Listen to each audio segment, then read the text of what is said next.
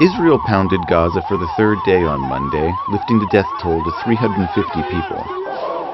The United Nations reported that 60 of them were civilians.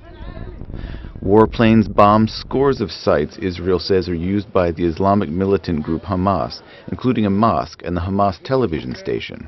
The Israeli operation is the largest in decades, aimed at stopping barrages of rocket fire by Hamas into Israel. Ten days ago, Hamas suspended its ceasefire with Israel, complaining that Israel has been frequently closing Gaza's borders to goods and services. On Monday, it fired more than 60 rockets into southern Israel, killing two people. New York Times reporter Taghreed El-Khodary is in Gaza. Hamas has been in complete control of the Gaza Strip for now a year and a half, meaning they are in every neighborhood.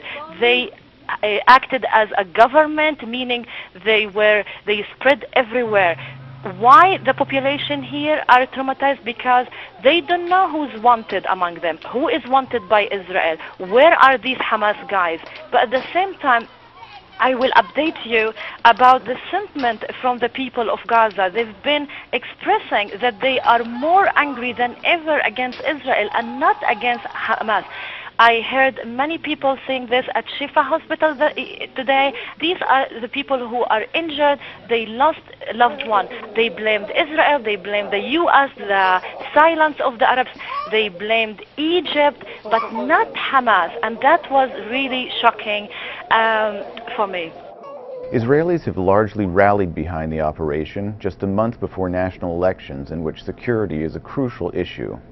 New York Times reporter Ethan Bronner is in Jerusalem. This is an operation that had been yearned for by a large portion of the population that felt that Israel had been taking too much rocket fire and not responding appropriately. So the uh, support at this moment is very, very high. The idea from Israel's perspective is to deliver a kind of decisive blow against this organization uh, and to say to it that it cannot threaten uh, the people in the south of Israel and send rockets any longer. The United States maintains that Israel has a right to protect itself. But UN Secretary General Ban Ki-moon called for both sides to stop. Both Israel and Hamas must halt their acts of violence and take all necessary measures to avoid civilian casualties. The Israeli line from the military is that it's going to go as far as they need it to and there are tanks and ground troops that are amassing along the border uh, with Gaza in the south. So it seems it could be just a bluff, but it seems likely that there will be some ground operations before this is over. Israeli airstrikes continued through the night as Israel's defense minister and its former prime minister Ehud Barak threatened all-out war to finally crush Hamas.